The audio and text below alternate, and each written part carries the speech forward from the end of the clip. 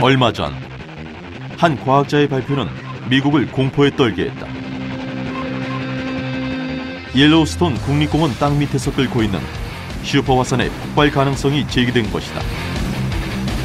미국인의 66%가 삶의 터전을 잃게 될 것이라고 경고하면서도 정작 정확한 폭발 시기는 예측하지 못하고 있다. 지구 내부로 들어가는 유일한 통로 화산. 인간의 많은 노력에도 불구하고 그들이 우리의 발길을 허락하고 있지 않기 때문이다. 뜨겁게 분출하는 마그마는 아직도 경외와 두려움의 대상이며 곳곳에서 뿜어져 나오는 간헐천을 보며 탄성을 지를 뿐이다.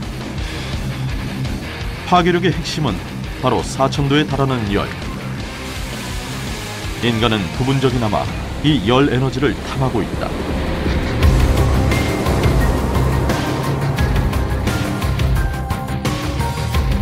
지열 발전이라는 것은 그 화산 활동과 관련해서 땅 속의 온도가 다른 곳에 비해서 굉장히 높은 그래서 우리가 바로 그 증기 수증기를 땅 속에서 끌어올릴 수 있는 곳에서만 지열 발전이 가능하다고 이야기가 되어 왔는데요.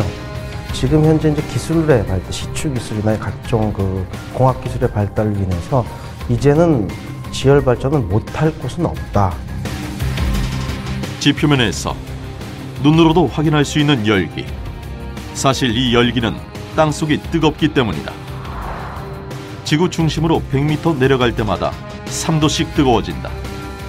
이것은 지구가 무궁무진하게 보유하고 있는 순수 에너지, 지열에 관한 이야기다.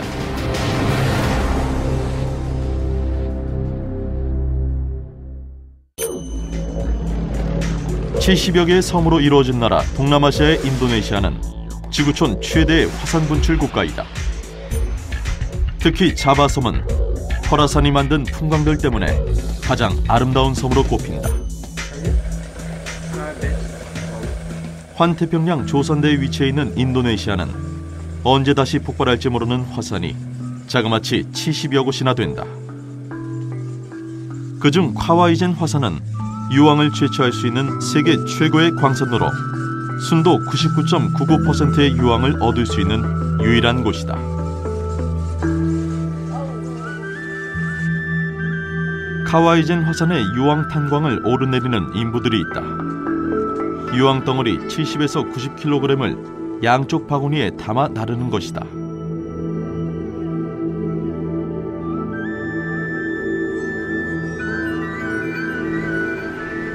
산성이 강한 유황가스와 언제 덮칠지 모르는 활화산을 일터 삼아 살아가는 인도네시아 사람들에게 화산은 어떤 의미일까?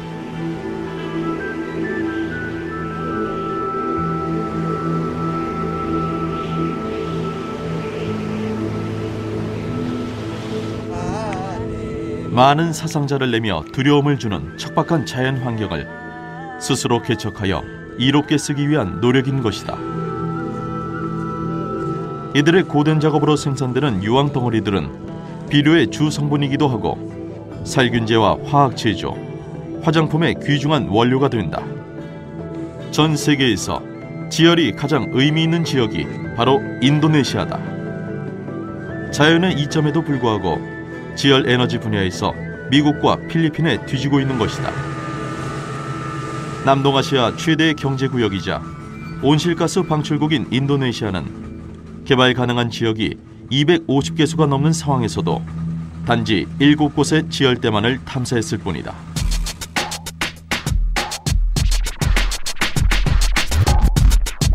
인도네시아 남부는 거대한 화산 박물관인 셈이다. 모든 종류의 화산이 시시각각 움틀거리며 언제 터질지 모른다. 인도네시아의 지하는 지구상에서 가장 뜨거운 땅인 것이다.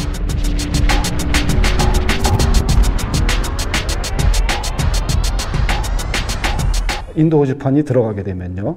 인도 오지판에는 이제 많은 해저 퇴적물들이 쌓여 있어요. 해저 퇴적물에는 이제 그 물을 많이 포함하고 있거든요.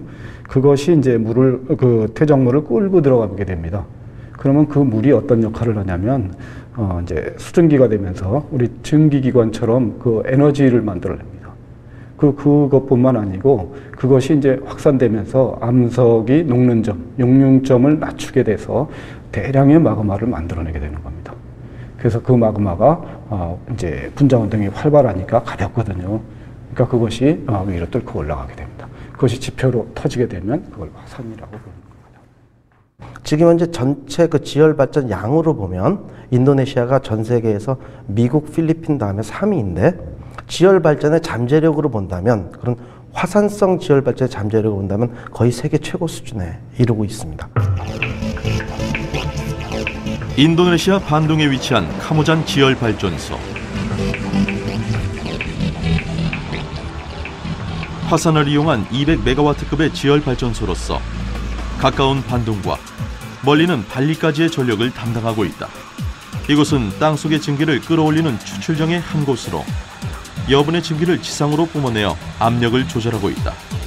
발전소 직원들은 이곳을 샘이라고 표현하기도 하는데 땅 속에서 올라오는 증기를 맑은 물이 나는 샘처럼 자연의 혜택으로 생각하고 있다.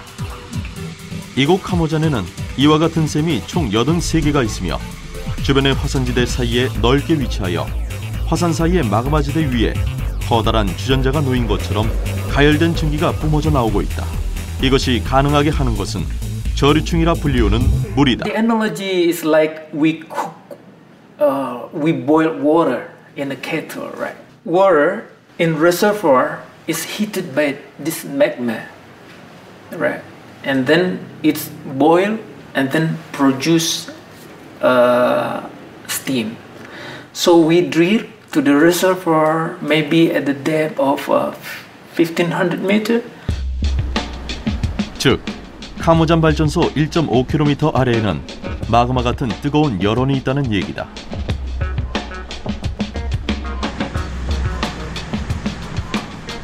카모잔 지열 발전의 열원은 인근의 풍부한 화산이다. 이곳의 전력 생산량인 200메가와트는 총 83개 중 45개 샘에서 생산된 것이며 또한 6개의 주입정도 갖추고 있다.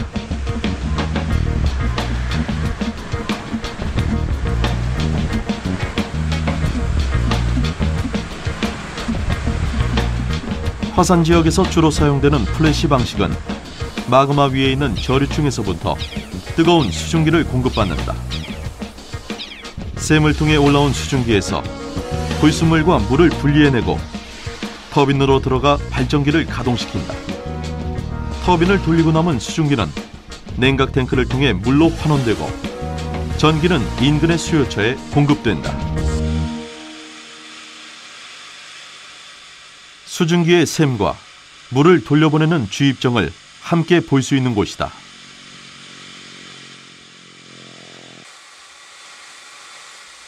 땅 속에서 올라오는 수증기가 마치 끓고 있는 주전자처럼 소리내면서 뿜어져 나오고 있다.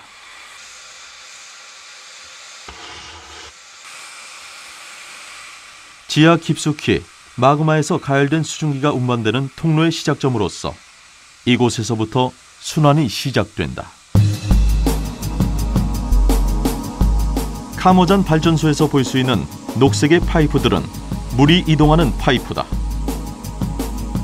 샘에서 올라온 증기들을 물로 냉각시켜 다시 돌려보내는 역할을 하며 수증기가 빠져나온 만큼 땅 속을 채우고 순환시키는 역할을 한다. 추출된 수증기가 터빈을 돌리기 위해 한 곳으로 모이고 콘덴서와 여과 장치를 통해 불순물과 물이 분리된다. 총 80여 개의 수증기 샘에서 상시 작동 중인 45개 파이프에서 추출한 모든 수증기가 한 곳으로 모이는 것이다. 불순물과 분리되어 터빈을 돌리는 것은 순수한 증기.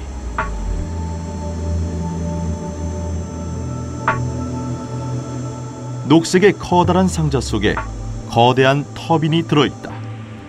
터빈을 돌리는 스팀의 온도는 184도. 뜨거운 증기만으로 전기를 생산하는 것이다. 터빈의 용량은 6만 3천 킬로와트로 현재 생산되는 생산량의 3배에 해당하는 거대한 크기다. 터빈에서 에너지 교환된 전기는 발전기를 통과해 전기로 생산되고 바로 전력회사로 이동하여 일반 가정에 공급된다. 깊은 땅 속에서 마그마에 가열되어 나온 수증기가 비로소 유용한 전기로 탈바꿈한 것이다. 지열 발전의 가장 큰 장점은 휴지기 없이 세대를 아울러 한 번의 설치로 꾸준히 발전할 수 있다는 점이다. 한 번 쓰여진 전기는 냉각 탱크를 거쳐 다시 물이 되고 지하의 물길에 설치된 주입정을 통해 다시 땅으로 돌아간다. 이를테면 지금 형광등 뭐 30와트라고 하면 우리 보통 30촉이라고 그러죠. 그, 어, 일, 이제 1초에 30주를 쓴다는 얘기죠. 그것이 이제 30와트인데, 어, 화산 같으면 어느 정도냐면은 1년에 에, 쓰는 것을 이제 초로 전부 나누게 되면은 어, 10의 13승 와트에 해당됩니다. 그러니까 어, 10의 12승이 어, 좋은가요? 그렇게 되면 10조 와트 정도죠. 화산 에너지는요. 이성적인 두뇌론 상상조차 안 되는 무한 에너지, 지구 속 미지의 세계. 그래서 인간의 상상력은 소설로 만들어진다. 그리고 작가의 상상력은 과학자들에게 영감을 주고 그 영감은 곧 현실이 되기도 한다. 1864년에 씌어진 줄 베른의 소설 지구 속 여행을 영화화한 잃어버린 세계를 찾아서 150여 년 전 그가 그린 지구 속 모습은 놀라울 정도로 21세기 과학자들이 예측하는 모습과 일치한다. 비밀 문서에 기록된 터널을 통해 지구 속 여행을 떠나게 된 주인공들은 지구 속 신비한 세계를 체험하게 되는데 그곳엔 고대 생물종으로 가득한 바다와 대륙이 있었다. 넋을 잃고 바라보다 길을 잃게 된 주인공들은 다시 비밀 문서에서 길을 찾게 되고 결국 마그마의 움직임을 따라 지구 밖으로 분출되는 간헐천 덕분에 탈출에 성공하게 된다.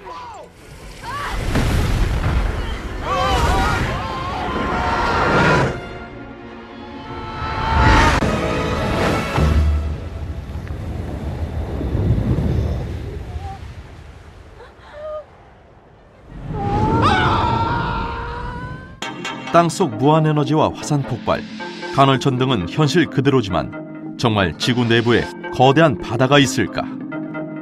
예, 가능성이 있는데요. 아직 검증된 게 아니니까 일반 분들에게 그 말씀드리기에는 조금 음, 음, 시기상조고요. 어, 그러니까 우리가 기압을 높이면은 이제 끓는 온도가 더 어, 어, 이제 올라가잖아요. 374도보다는 더 높아지질 않습니다.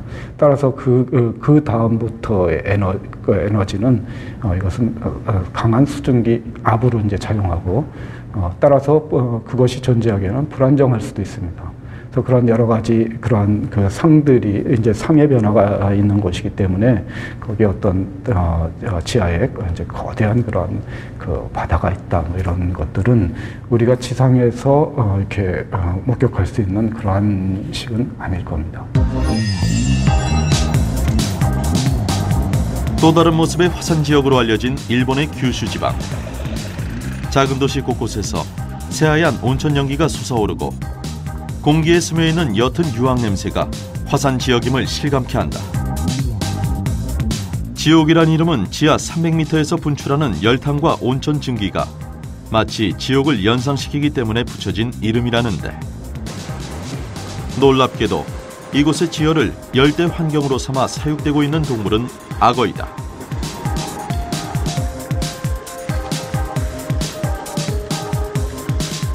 사람이 살기에는 척박한 화산 지역을 지옥이라는 이야기로 만들어 관광 명소로 활용하고 있는 지열의 또 다른 모습이다.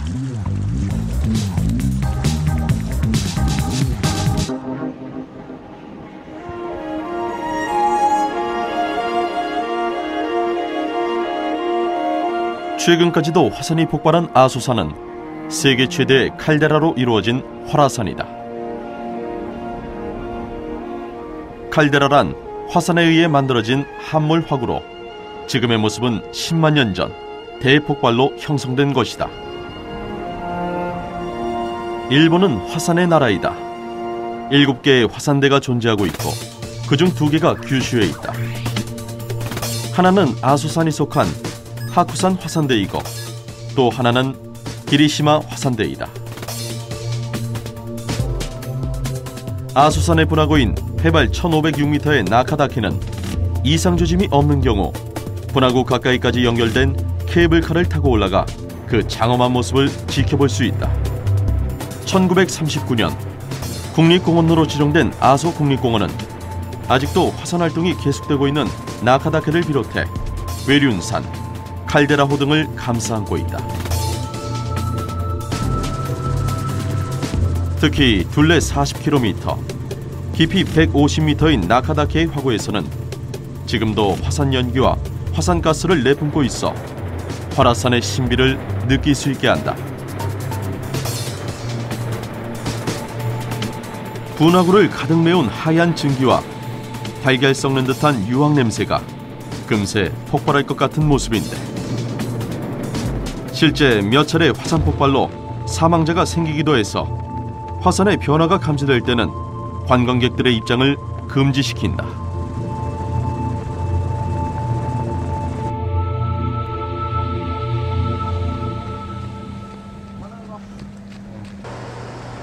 실제 일본에서 차지하는 지열 발전 비중은 아주 작다고 한다. 일본은 원자력 발전 위주지만 지진이 잦은 일본의 특성상 원자력이 가진 위험성 때문에 화산을 이용한 지열 발전에 다시 눈을 돌리고 있다.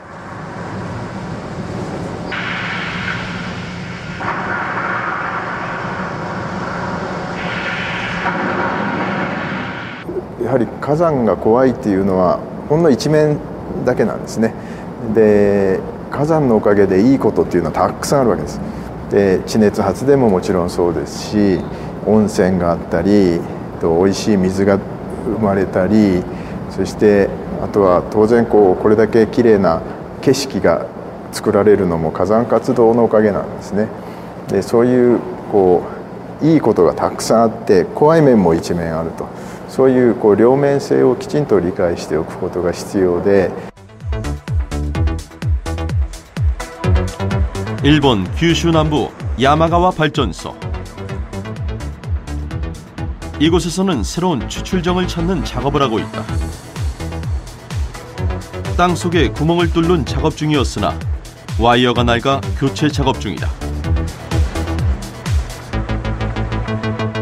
まあ、あの通常の掘削と特別な技術というのはないんですけれどもどうしても火山地帯ということで地下が高温になるというのがございます。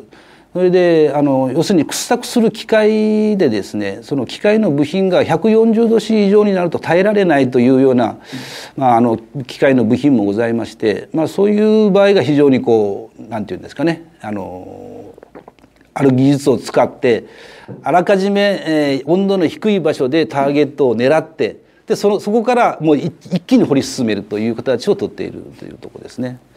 でもう一つはそのまあ予想もしないところにこう蒸気だまりとかとかいうのがあると突然熱水が噴き出してくるという、まあ、非常に危険な状態もありますんで、まあ、そういう場合を想定した掘削の仕方をやっているというのはございます。 굴착 작업엔 다이아몬드 강도의 80%에 해당하는 합금 트리콤비트가 쓰인다.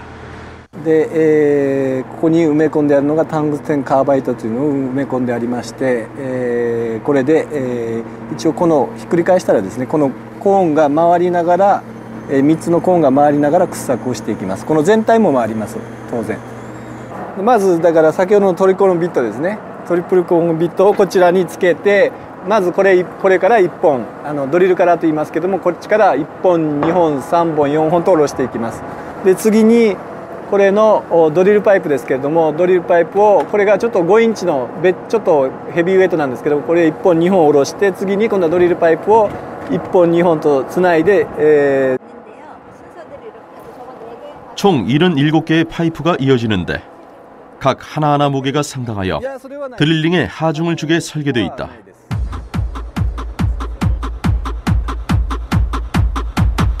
야마가와 발전소 지역의 발전에 필요한 굴착 깊이는 2km. 2km 지하에 발전에 필요한 200도 이상의 수증기가 존재한다.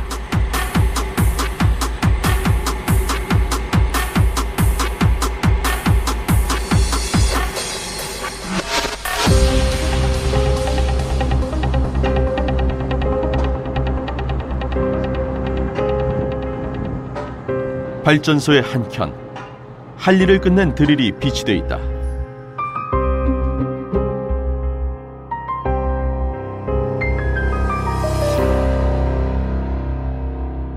えー、とこのビットが12と4分の1のトリコンビットですねで、 えー、このビットでは使用したのは深度 800m から 1500m で掘削しておりますでその間、えー、使用したビット数はあだいたい3個から4個ぐらい使用しておりますで一心、えー、800m から今現在掘削しておりますけれども、えー、だいたい6個ぐらいのビットを使用しております 야마가와 발전소에 설치된 터빈은 3만 킬로와트의 용량을 자랑한다.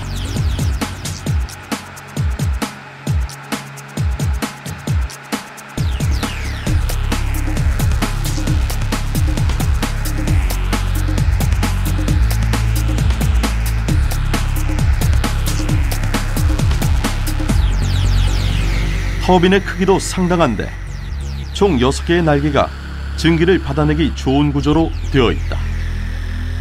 えー、とこれはもうメーカーの設計なんですけれどもあの10キロの、えー、もともとタービンを回すための圧力は10キロございます。で複数機が、まあ、マイナス715ミリ HG ぐらいのでそこの熱ら熱落差を考えてそういう設計になると6段が必要だというだけの話ですね。だから6段にするという理由じゃなくて、えー、10キロの蒸気を 真空まで膨張させると段数が6段になっていくというだけですね。 화산 지역의 지열 발전 설비들은 크게 복잡하지 않다.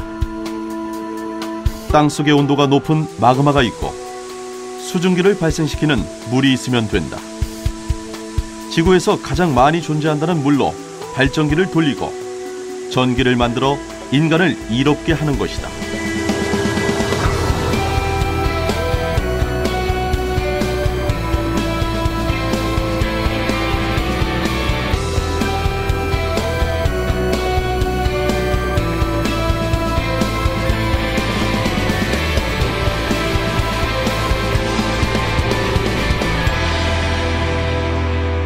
あ、の火山がないということであのかなり高温の熱水が噴き出すというのはあんまり期待できないというふうに私はちょっと思います。で先ほども申しましたようにその地熱発電こういう方式で地熱発電をやるにはやはり熱水の温度が230度以上ぐらいのものが最低でも必要となりますので、まあ、それ以上の熱水の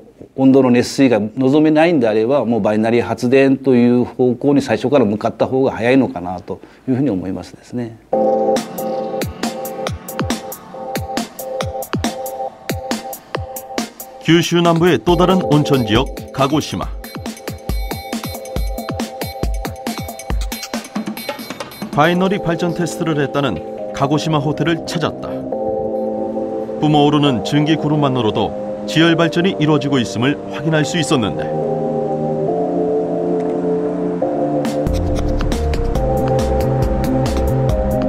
이곳은 실제 binary 테스트 이전부터 100kW 규모의 소규모 지열 발전 장비가 있었다고 한다. 전 세계적 화두로 떠오르고 있는 친환경 에코 열풍을 미리 감지한 가고시마 호텔은 지열 에너지를 사용해 고객 만족도를 높이고 있다고 한다.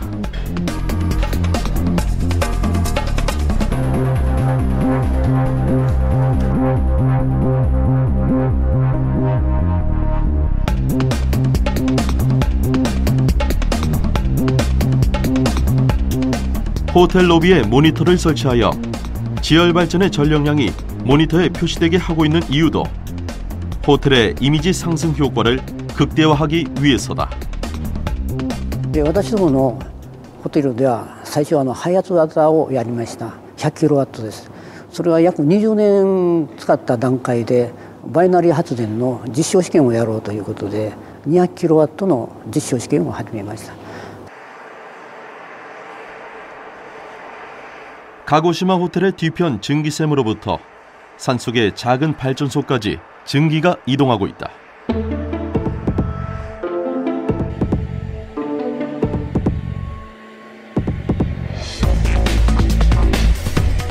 이곳에 설치된 발전기는 100kW급의 아주 작은 발전소다.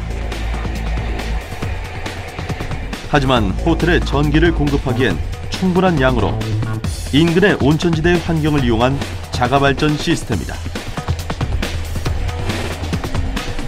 이곳에서는 전기뿐만 아니라 온천수를 이용한 열 병합 난방과 binary를 이용한 전력량 증설도 시도했고 200kW급의 binary 시스템을 설치했다.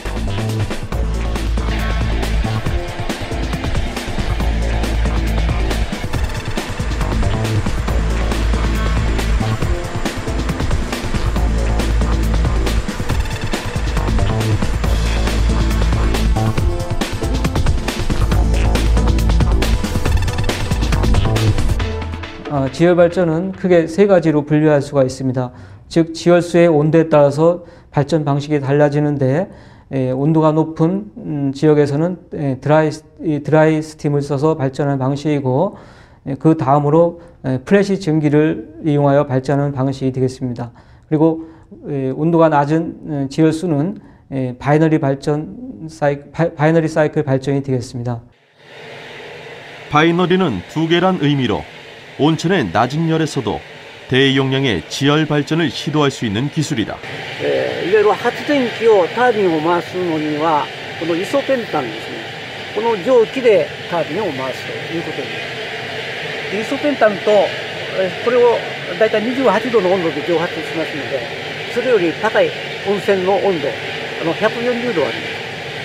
これの熱源でもってイソペンタンを熱交換して加熱してイソペンタンの蒸気でタービンを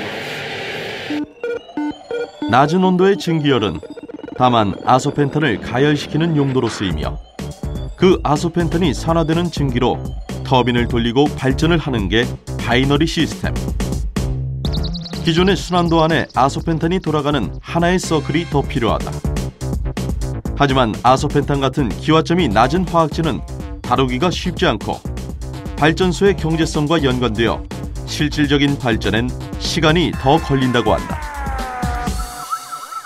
やはり媒体イソペンタン、まあ、そういう媒体の問題それから発電機は小さいんですけどもこういう付帯設備にお金がかかると建設費がかかると設備費ですね。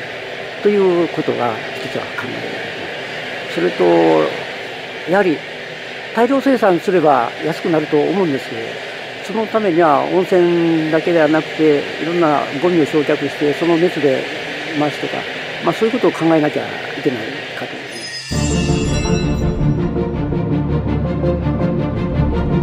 우리나라 유일의 칼데라오 백두산 천지.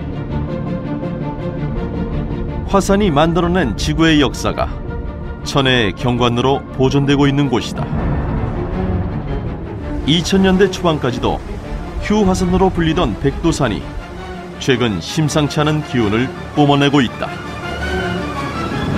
백두산은 그 화산 활동이 완전히 끝나지 않은 지역으로 알려져 있습니다. 즉 그런 이야기 무슨 얘기냐면 아직까지도 화산의 근원이 되는 마그마가 아주 깊지 않은 다른 곳에 비해서는 깊지 않은 곳에 위치한다고 그렇게 볼 수 있기 때문에 경제적인 지열 발전이 가능하다는 이야기가 되죠. 민족 정서의 뿌리인 백두산에서 2002년부터 지진이 잦아지고 있다고 하고 그 힘이 백두산 지하에 저장된 마그마에도 영향을 주고 있다고 한다.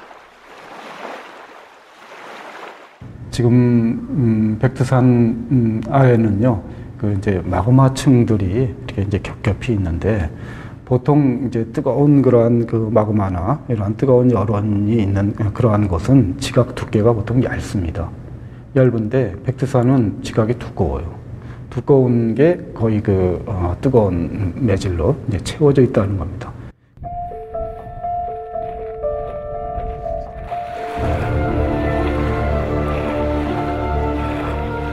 마그마가 있다면 지열 발전도 가능하단 얘기다. 그렇다면 우리나라도 인도네시아와 같은 풍부한 지열 발전도 가능해지는 것은 아닐까?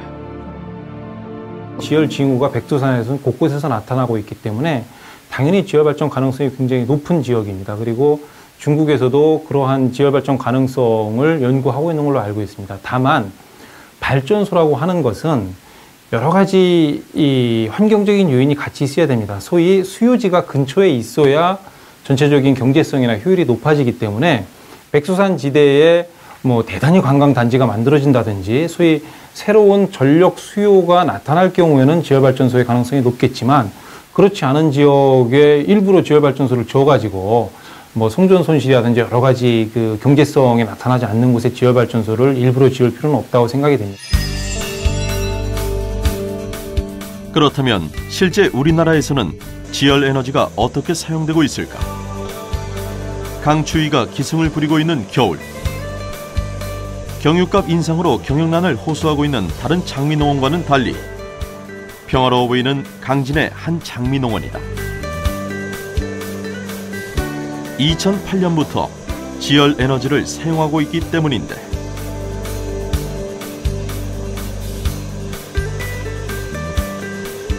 특히 온도는 장미의 수량과 품질을 절대적으로 좌우하는 환경이다. 온실 재배의 적당한 주간 온도는 25도씨, 야간 온도는 16도씨. 주간 온도와 야간 온도의 교차폭은 10도씨 내외로 관리해야 하는데 기후 이상으로 기온의 롤러코스터가 심하게 되면 장미의 수량이 줄어들 뿐 아니라 꽃이 피기까지의 개화수 요일수도 늘어나게 된다. 지열 에너지의 혜택을 받고 있는 이곳의 장미는 이상 한파와는 상관없는 듯하다. 장미 농원의 지열 발전은 추결기라고 할 수 있는 커다란 물탱크가 있어 온도의 보존에 유리한 구조를 하고 파이프를 통해 지하에서 데워진 물이 천천히 식으며 온도를 유지하는 원리이다. 전기를 생산하는 지열 발전이 지열의 간접 이용이라면 장미농원의 지열 시스템은 지하 땅 속의 온도로 물을 직접 데워 사용하는 직접 이용이다.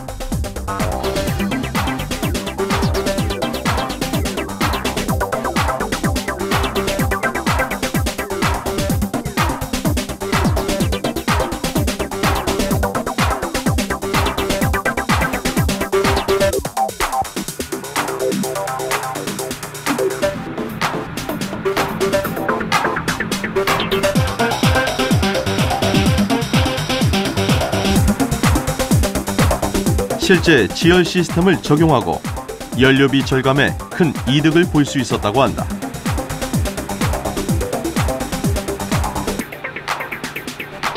예전에 경, 경유값이 올리기 전에도 한 3분의 2가량 이상 절감이 된 것 같습니다.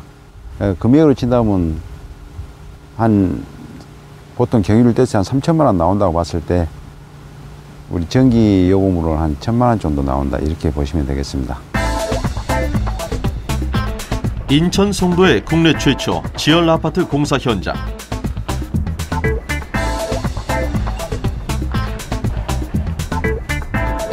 현장에서는 땅을 뚫는 천공 작업이 한창이다.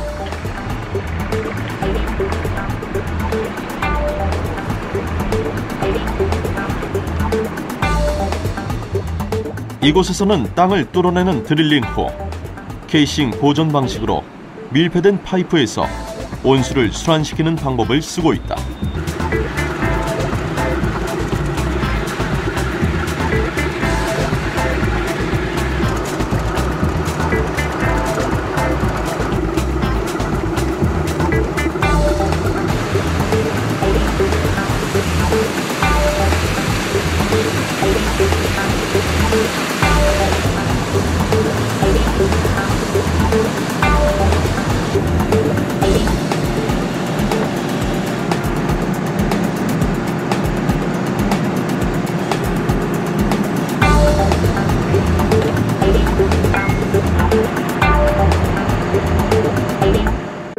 저희 현장 같은 경우는 이제 300m를 내려가서 이렇게 온수 파이프가 300m를 내려가서 순환해서 다시 올라오는 타입으로 되어 있는데 그 장비를 가지고 이제 300m를 천공을 하게 됩니다. 구멍을 뚫고 거기에 파이프를 집어넣어서 U자형으로 내려갔다가 이렇게 다시 올라오는 파이프를 넣고 몰탈을 채우고 그래서 이제 굳히게 되는 거죠. 그 자체 폐쇄형으로 완전히 굳혀놓은 상태에서 물을 다시 기계실로 보내서 기계실에서 이제 펌프를 거치고 히트 펌프나 이런 걸 거쳐서 열 교환도 하고 그래서 세대로 보내고 다시 내려오고 우선 가장 굵은 케이싱 파이프를 직접 매설하고 내외부 틈을 메우고 고정하기 위해서 그라우팅을 한다.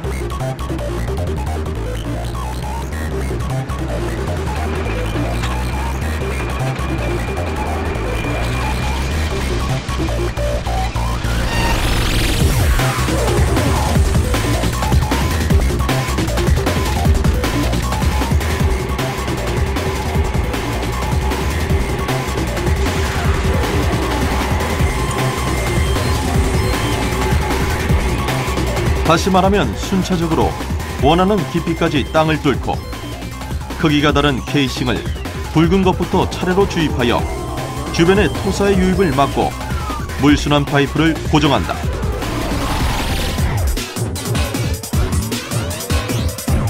완성이 되면 땅 속에서 데워진 물이 순환하며 아파트의 난방에 쓰이게 되는 것이다.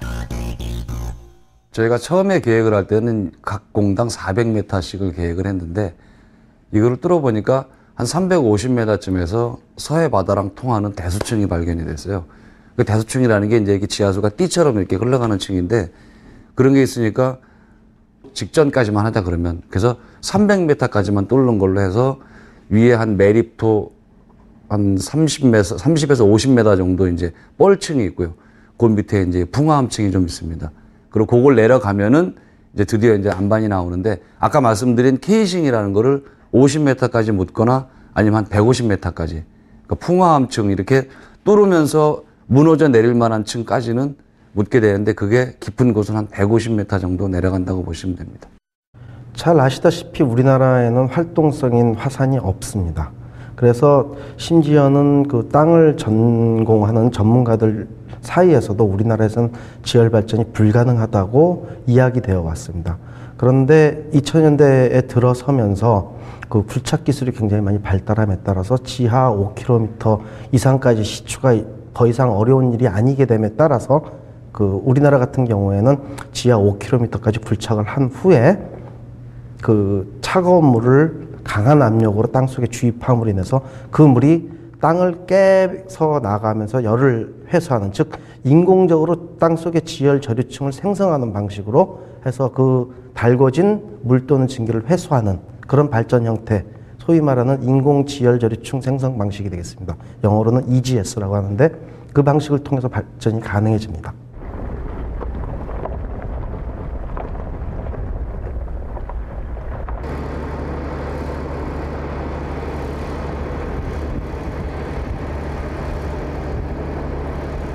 포항은 국내 최초의 지열발전소 입지로 가장 유력한 곳이다. 상부에 점토층이 있어 열 보존에 적합하고 단면을 보면 지하 하부의 온도도 가장 높은 지역이라고 한다. 다행히도 최근 들어서 그 우리나라 그 정부와 그다음에 산업계 이런 데서 지열 발전에 대한 관심이 굉장히 높아지고 그다음에 그쪽에 투자하고자 하는 업체들도 늘어나고 하고 있습니다. 그래서 이런 덕분에 그 바로 직전에 우리나라에서도 그런 그 EGS 시스템을 이용해서 파일럿 플랜트를 하나 만들어 보자 하는 그런 그 연구 개발 프로젝트가 그 정부 지식경제부에 의해서 시작이 되게 됐습니다. EGS란 기술은 신부 5km 이상 내려가고 주입정과 추출정이 분리돼 있어 비화산 지역에서도 가능한 기술인데 우리나라에서는 제주도와 성모도, 포항이 한국형 EGS를 시도하기 위한 후보지로 떠오르고 있다. 저희들이 지열 발전 프로젝트를 지금 추진함으로써 그러한 충분한 신부지열 데이터를 얻어내서 한국적 실종에 맞는 한국형 지질과 한국형 지열 환경에 맞는 그러한 지열발전 모델 또는 EGS 모델을 만들어내서 어, 지열발전소를 건설하는 걸 목표로 하고 있고요. 인천의 성모도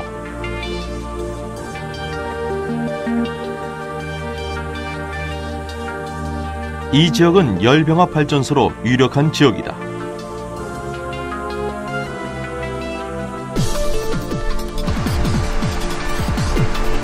시험 천공의 깊이는 3km 이상의 깊이로 시도하고 있다.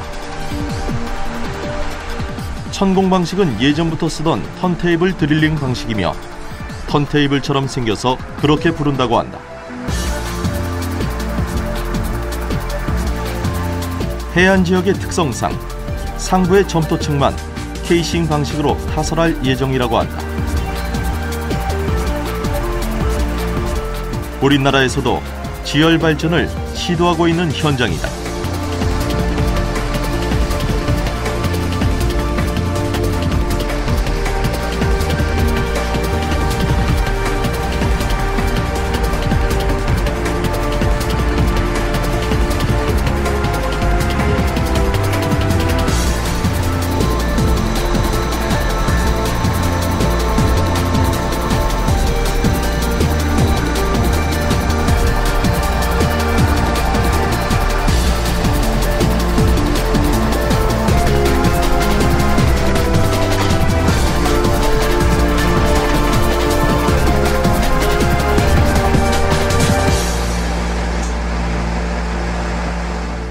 지열 발전은 발전과 열을 연계한 열병합 발전도 가능합니다.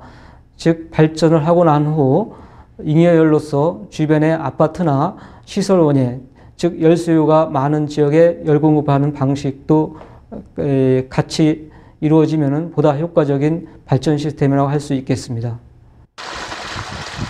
우리나라의 경우 비교적 안정된 집안 위에 놓여 화산의 분출과는 거리가 먼 지질 구조를 갖고 있다. 그러나 우리나라에도 온천이 존재하는 걸로 봐서 화산성 고온 온천은 아니더라도 비교적 높은 지열을 가지고 있음을 알 수 있다. 최근 지열병합 발전소로 유력한 지역으로 온천수가 70도까지 올라가는 성모도가 집중받고 있다. 지열 쪽에 연구에 종사하시는 분들은 2020년까지는 우리나라에 한 20메가와트 정도의 보급이 가능할 것 같고 그리고 2030년까지는 그러한 20메가와트급에 되는 그런 지열 발전소들이 전국에 한 10여 개 정도 건설이 돼서 2030년까지 한 200메가와트 정도의 그 지열 발전소가 가능하지 않을까 이렇게 좀 기대 섞인 전망을 해보고 있습니다. 그 지열 발전이 여타 다른 신재생 에너지원과 다른 점은 한 번 시설을 해놓으면 연중 쉬는 날 없이 그러니까 비가 오나 눈이 오나 해가 뜨나 해가 지나 항상 돌아간다는 점에서 즉 가동률이 굉장히 높아서 그 기저부하를 담당한다는 그런 장점이 있습니다. 따라서 동일한 그 용량이라고 해도 전체 대, 나오는 발전량은 다른 신재생에서 훨씬 높게 나오게 됩니다. 인간의 기술이 땅속 무한 에너지 지열을 탐하고 있다. 멀게만 느껴졌던 땅속 뜨거운 열에 닿을 수 있는 기술을 개발해내고 그 열을 에너지로 바꾸고 있는 것이다. 지열은 인간에게 또 하나의 기회가 되고 있다.